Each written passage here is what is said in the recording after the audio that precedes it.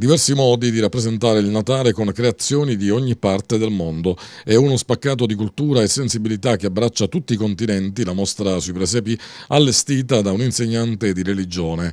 Lei è la gelese Tania Tallarita. L'esposizione può essere visitata gratuitamente nei locali del chiosco di Ruben al Porto Rifugio. Ho avuto sempre questa passione per la religione in sé per sé.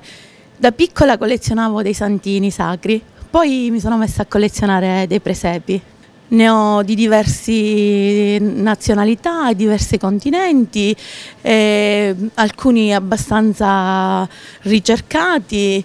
Eh, uno di quelli che mi piace moltissimo è quello eschimese, infatti ho realizzato anche io la struttura perché è uno dei più belli per me. E perché proprio quello eschimese? Cosa c'è di bello rispetto agli altri? Perché mh, mm, è uno dei più ricercati e non è facilmente eh, trovabile su, sul mercato. Ma quanto tempo impieghi per realizzare questa bella mostra?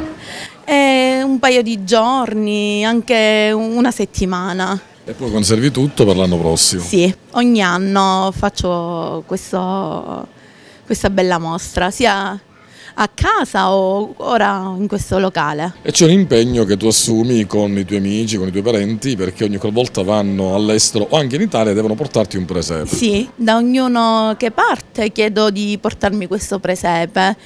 E, e, mm, e molti me li hanno regalati oltre a comprarli.